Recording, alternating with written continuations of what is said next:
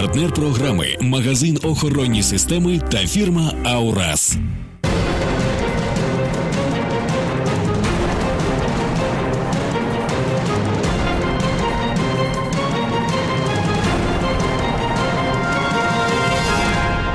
Важливих надзвичайних подій, які відбувалися в Рівному та області за минулі сім днів. Далі в ефірі мене звати Катерина Ярова. Вітаю вас.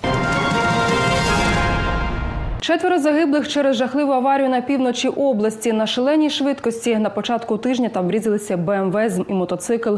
За кермом транспортних засобів були молоді чоловіки віком від 19 до 29 років. Усі загинули. Травми отримані виявилися смертельними. Слідчі зараз з'ясовують об'єктивні причини нічної автокатастрофи. Шокуючи своїми наслідками, аварія сталася на автодорозі Немовичі Березне Межиричі. Це Сардинський район. Легковик БМВ та мотоцикл Кінлон не зуміли розминутися. Це була ніч, орієнтовно третя година. Випадкові водії, що кросували повз, лише стали свідками результатів цього зіткнення. По дорозі були розкидані тіла чоловіків та понівечені транспортні засоби. Зіткнулися автомобіль БМВ під керуванням 18-річного жителя села Тине та мотоцикл, е, яким керував 28-річний житель села Чудель. У результаті дорожньо-транспортної пригоди водій мотоциклу та його два пасажири, 20 та 29-річні мешканці села Зносичі, від отриманих травм загинули на місці. Життя водія БМВ рятували лікарі. Втім, він помер у кареті швидкої допомоги. Пасажир іномарки, це 21-річний мешканець села Тине, не постраждав. Як він пояснив правоохоронцям, мотоцикл на великій швидкості виїхав на зустрічну смугу та влетів прямо у їхнє авто. За фактом порушення правил безпеки дорожнього руху, що спричинило загибель кількох людей, відкрито кримінальне провадження за частиною 3 статті 286 Кримінального кодексу України. Шокуючий детектив із щасливим закінченням неподалік рівного сади скалічив до півсмерті молоду дівчину та лишив жертву помирати в чагарниках. Скривавлена дівчина за якийсь час прийшла до тями та дивом зуміла дістатися до найближчих приватних будинків. Говорити нічого не могла. Шия від численних ножових поранень просто стікала кров'ю. Спантеличені господарі викликали медиків та поліцію. Чи житиме 20-річна Мирослава? Та що буде з її кривдником? Далі в сюжеті.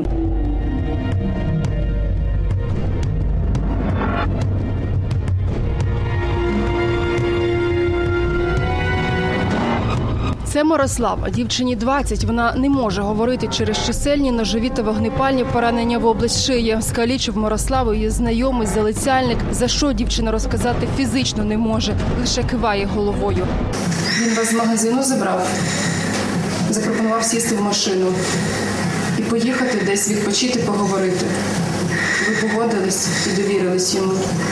Мирославу привезли в обласну клінічну лікарню кілька днів тому з території села Бармаки. Це за кілька кілометрів від рівного. У негайному порядку прооперували, адже рахунок її життя йшов буквально на хвилини. Медики і досі шоковані, як після таких важких травм вона взагалі вижила. Ножові поранення е, передньої і бокової поверхні шиї із проникаючим пораненням трахеї та щитовидної залози. І на даний момент е, вона стабільна, вона в свідомості не може розмовляти через те, що в неї знаходиться трахеостомічна трубка, через яку вона дихає, але вона може е, писати. Якщо ви до неї звертаєтесь, вона е, реагує, чує вас, може кивати головою, вона. У нелюдну місцевість села Бармаки її завіз знайомий на власному автомобілі. Там жорстоко порізав та кілька разів вистрілив з травматичної зброї. Він мав намір її вбити. готувався, значить, е, взяв з собою на зустріч своєю знайомою дівчиною відповідний одяг, який використовують злочинці, а саме чорний е, камуфляж і чорні берці. От, е, спілкувався е, з нею перед зустрічю лише смс-ками по вайберу. Тобто він знає, це говорить про те, що він де в чому переживав. Дівчина за якийсь час прийшла до тями. Нападника вже поруч не було. І вона з останніх сил піднялася та прийшла до найближчої хати благати про допомогу. Місцеві, які бачили покалічену Мирославу, й досі не можуть відійти від побаченого. Дівчина відчайдушно жестами пояснювала, хто вона, та написала кров'ю на склі номер швидкої 103. Поки лікарі боролися за життя дівчини, оперативники почали пошуки садиста і менше як за дві доби спіймали його. Чоловік в подробицях оповів, як планував цей злочин, що в минулому минулому році завів роман з Мирославою. Знав, що вона працює продавцем в магазині та має доступ до каси. Тож напросився серед ночі в приміщенні торгівельного закладу. Дівчина погодилася. Він виніс звідти 60 тисяч гривень та кілька ящиків алкоголю орієнтовно на 2 тисячі гривень. Після цього ціленаправлено повіз дівчину вбивати, аби та не розказала нікому таємницю. Півдругої ночі зайшли двоє в магазин Сейм, де розпивали спиртні напої.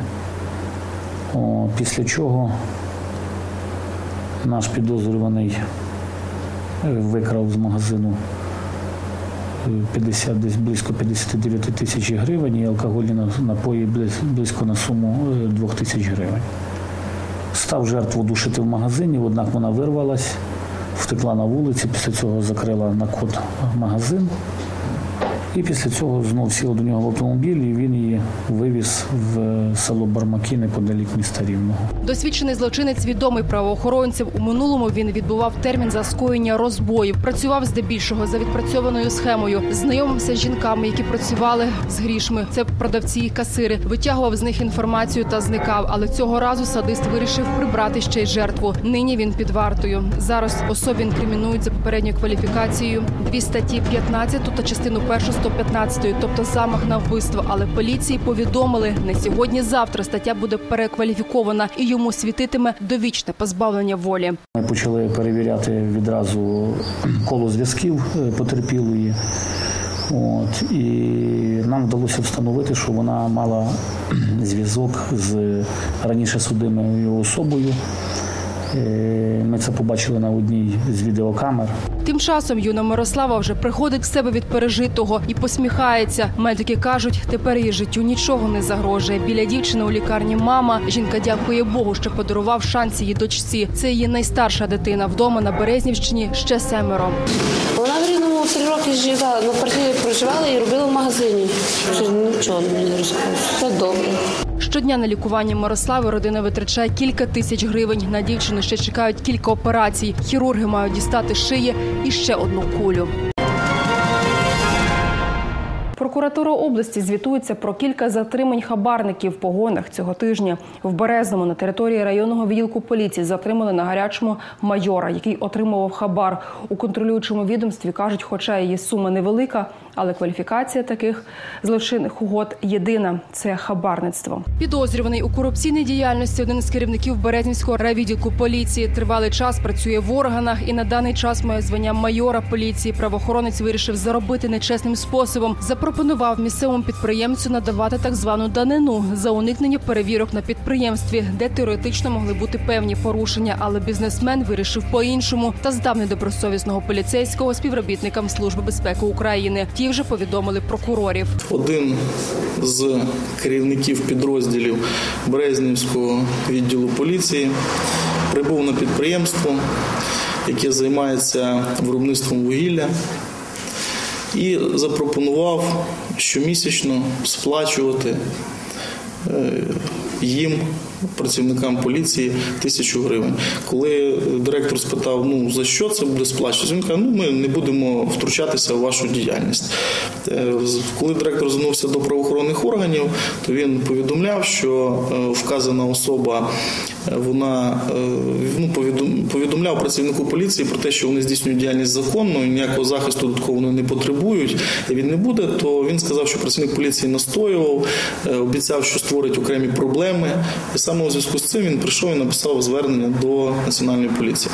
Майор інкримінують одержання неправомірної вигоди. Від роботи його вже усунули. Було отримані відповідні негласні слідчо-розшукові заходи, і також під контролем вказаній особі було передано тисячу гривень.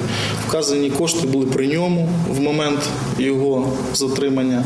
Він їх добровільно видав. Однак потім сказав, що не може пояснити походження цих коштів у нього. Ну, є відеопередачі, на ньому прекрасно видно, як ці кошти передаються, і вся розмова, яка була між е, заявником та особою, яка у нього ці кошти вимагала. До речі, це вже не перший випадок, коли на території саме Березнівського відділку затримують поліцейських на хабарах. Приблизно місяць тому було затримано слідчого Березнівського відділу поліції прямо на тому самому місці біля районного відділу поліції.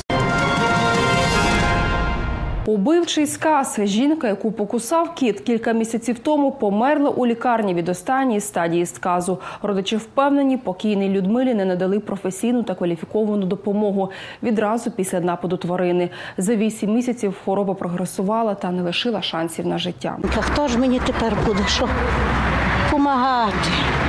Хто ж мені буде й хліба навіть принести? Чи що треба вона мені? Ой, мамо, бідненьке, так вмирало, так просила, мамо, як я жити хочу, ратуйте мене. Ой, ратуйте, а гощі не прощайте ніколи, не прощайте за мене, мамо, не прощайте. Мати оплакує дочку, яку поховали кілька днів тому. Рідні загиблої Людмили Гаврилюк звернулися до журналістів, аби їхня трагічна історія набрала розголосу, а винних покарали. Загиблій жінці було 48 років. Вона померла на лікарняному ліжку обласної клінічної лікарні. У неї була остання стадія сказу. Запідозрено це захворювання був викликаний профільний спеціаліст, інфекціоніст, який теж її оглянув, розписав нам на симптоматичну терапію. Але на жаль, стадія захворювання вже була такою, що процес був незворотнім. Людмилу вкусив кіт ще у жовтні минулого року. Прибився до двору та покусав її руку. Жінка підозрювала, що кіт може бути скажений, тож відразу звернулися до медиків. Але ті її переконали, хвилюватися немає чого. Мовляв, рани швидко загоїться та все минеться. В цьому місці оцей кіт напав. Вона тут його дирає, і він кидає цю кі- курку і їй в руку. І тако телепається, вона його не може збити. Баба біжить, бере шуфлю, і шуфлю і лупить, не може збити його. Мамо, мене кіт покусав і каже, скорою забрали і намазали, каже, там, ну, не знаю, там ну, якоюсь мастею, і дали таблеток на 300 рублів, і все. І каже, відправили додому. Вісім місяців нічого не відчувало біди. Людмила жила звичайним життям, аж поки їй не стало зле прямо на робочому місці. Звідти її забрала вже швидка. У лікарні для Людмили розпочалися неймовірні муки. Це були страшні муки через те, що е, я її прошу люд, випий води, я тільки ту бутилочку до, тако до неї підношу, а в неї такий рвотний реклес, просто не рвотний, а просто їй отут все зводило. Е, Я просто навіть не можу передати, це такі адські муки, що це кожна жилка на шиї, кожна костомашка її вивертало. Вона тако сидить на кушетці, бо лягти не могла, задихалась. Отак сидить на кушетці, отакого руки в неї, отакі ось синюшні, отако ті руки грабнуть. Я кажу, Люда, розслабся, що ж ти так її гладжу за руку? Нагаль, я ж не, я ж не це є, ну не напружена. Кажу, чого ж вони тако в тебе все це і тако, знаєте, напрямець її просто вивертало. Невдовзі жінка померла. Медики провели обстеження, які показали, в Людмили була остання стадія сказу, коли врятувати вже неможливо. Були класичні вже симптоми, характерні для цього захворювання, тобто надмірне слиновиділення, світлобоязнь, е, звукобоязнь, водобоязнь, тобто вже була класична картина, е, скажімо, термінальних стадій цього захворювання. Рідні загиблої Людмили впевнені, її можна було врятувати, якби вчасно надали допомогу медики ще у жовтні, коли кіт тільки покусав жінку. Тож її смерті люди звинувачують санепідемстанцію та гощанських спеціалістів. Втім, в обох інстанціях визнавати свою причетність до загибелі Людмили відмовляються і кажуть, що може кіт скажений і не був. Попередніми дослідженнями мікроскопією було не виявлено збудника сказу, але ж е, захворювання на сказ цим не виключається. Попередніми дослідженнями є дослідження нашої я кажу, е, Рівненської регіональної державної лабораторії ветмедицини, не підтверджено, не виявлено збудник сказу в пробах від даного кота. Аби розібратися, від чого загинула Людмила, уже створена спеціальна комісія охорони здоров'я. Керівник цього відомства повідомив, що вони чекають результатів експертизи, які мають надійти із столиці України. Якщо ж вона підтвердить, що жінка справді померла від сказу, рідні планують написати заяву до поліції, аби винних у халатності працівників медицини покарали згідно кримінального законодавства. Санстанція все винувата. І гоща лікарня, що вона ніякої вакцинації не, не зробила. Ми ще не знаємо. Що... І мама дуже просила, щоб наказали це все, щоб ніяка більше така сім'я не стикнулася з такою бідою, щоб ніяка, ніякі дітки тут свою маму не хоронили. Це вже другий випадок смерті від сказу в Рівненській області. Попередня жертва чоловік із Гощанського району також загинув після котячого укусу. Щоб не спуститися всі на тормоза, щоб виконати її останню волю, щоб вона бідненька там на тому світі. Була впевнена, що більш такої біди не буде ні в якій сім'ї, ні в якій родині, діти не будуть прощатися, так як ми прощали. Потрібна допомога на лікування. Дана Гордєєва, жителька селища Зарічне, це Рівненська область, 22 червня потрапила в аварію. Отримала чисельні травми. Лікування дороговартісне. Родині такі суми непідйомні. На сьогодні потрібно 100 тисяч гривень.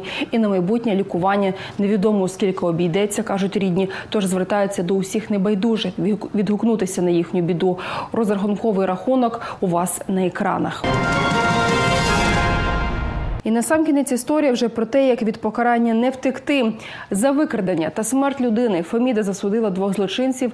Третього учасника він же організатор жорстокого тереального трилеру знайшли мертвим у сусідній області. На початку цього року розпали різдвяних свят Володимирці чоловіка закатували до смерті. Негідники посеред ночі вірвалися в будинок своєї жертви. Жорстоко били господаря, заклеїли рот склійкою стрічкою та знущалися, аж поки той не помер. Тоді в зловмисників визрів новий план, як уникнути покарання за смерть людини. Організатор нападу поїхав геть, а два його спільники вже мертвого чоловіка привезли до лікарні. Але в медзакладі зрозуміли, що це кримінал, тож викликали поліцію.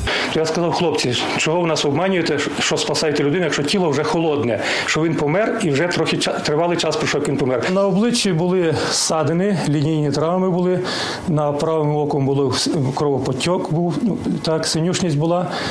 І е, зовні на на тілі були е, синюшні плями місцями на тулубі. Тоді незнайомці заявили медикам, що мертвий чоловік то жертви ДТП, а вони, мовляв, випадкові свідки. З їхніх слів вони знайшли його на вулиці.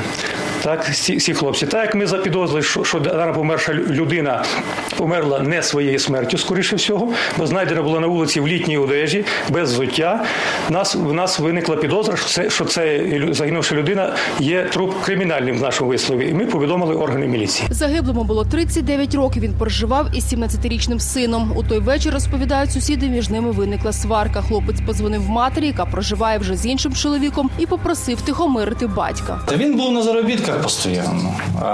Вона туди дітей доглядала. Він проїхав на заробітки. Після заробіток він приїхав, жінки вже не було. Вона десь чи заміж вийшла, я не знаю толку. І все. Він приїхав, видно, хотів сім'ю повернути. Ну і після цього вся ця ситуація з'явилася. Це страшно просто. Я так я так розумію. За що її вбивати питається? Хоч би якась причина була. Чи чи щоб він хоч хоч би щось мав би там, якесь багатство. Тож він ні, проста людина заробляє своїми мозолями, годує сім'ю. Щоб я він щось погано робив. Вже я думаю, що нічого поганого не робив. Двох нападників, які вигадали історію про цю ДТП, правоохоронці одразу затримали. Вказані особи вчинили кримінальне правопорушення, яке кваліфіковано за частиною 3 статті 146 кримінального кодексу України. Це е, незаконне позбавлення волі е, людини, е, вчинене способом застосуванням фізичного насильства, що спричинило отримало тяжкі наслідки. Третій спільник, який був коханцем дружини вбитого, у день вбивства відразу зник. Селяни розповіли, що зниклий вже давно займається незаконним видобутком бурштину, тож гроші має і ймовірно спробує втекти за кордон. Підозрюваного оголосили в міжнародний розшук. І через півроку Івана Котовича знайшли, щоправда, мертвим і в сусідній Житомирській області. Чи вбили його, чи він помер своєю смертю? Тепер з'ясовують Житомирські поліцейські. Останнього було е, нещодавно знайдено мертвим на території е, іншої області. Доля інших злочинців уже теж відома. Суд визнав їх винними у викраденні та смерті селянина та засудив їх до позбавлення волі. І засудив їх до е, позбавлення волі одного строком на 6,5 років, іншого на 7 років позбавлення волі. Доведено кожного міру е, вини у даному злочині. Також за рішенням суду засуджені мають сплатити рідним загиблого моральну шкоду у розмірі 230 тисяч гривень. Таким був цей тиждень. Зичу вам вчитися тільки на чужих помилках. Дякую за увагу та надійних людей поряд. І до зустрічі в ефірі.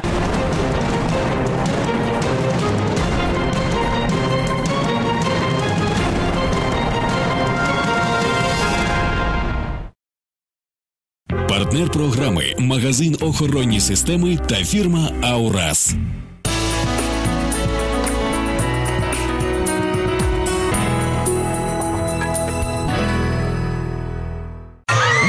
Спати спокійно, якщо за ваш захист беруться професіонали. Перший у рівному спеціалізований магазин охоронні системи. Ми здійснюємо реалізацію, монтаж та гарантійне обслуговування охоронно-пожежної сигналізації, пожежогасіння, систем доступу, відеоспостереження, засобів безпеки для захисту житла, виробничих приміщень, магазинів, офісів та банків. У нас працюють тільки кваліфіковані спеціалісти з багаторічним досвідом. Спеціалізований магазин охоронні системи. На безпеці не варто заощаджувати.